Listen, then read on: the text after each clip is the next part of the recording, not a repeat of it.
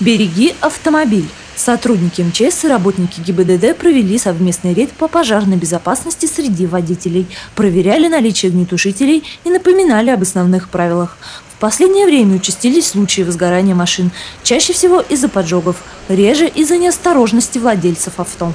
Поджог осуществляется у нас э, злоумышленниками, э, чаще всего э, с легко воспламеняющимися жидкостями путем разлива на лобовое стекло.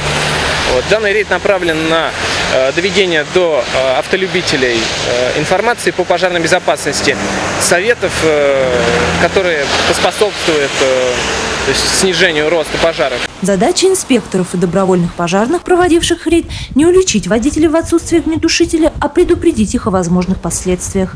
Важно донести информацию, что следует делать, чтобы автомобиль не стал жертвой поджога. Хотим вам вручить сначала эту памятку. Ознакомьтесь с ней, пожалуйста.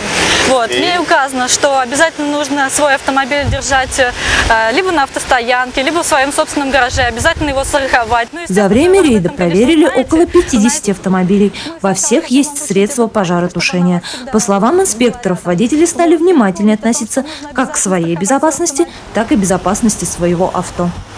Мария Попова, Андрей Семиволков, РТВ Иванова.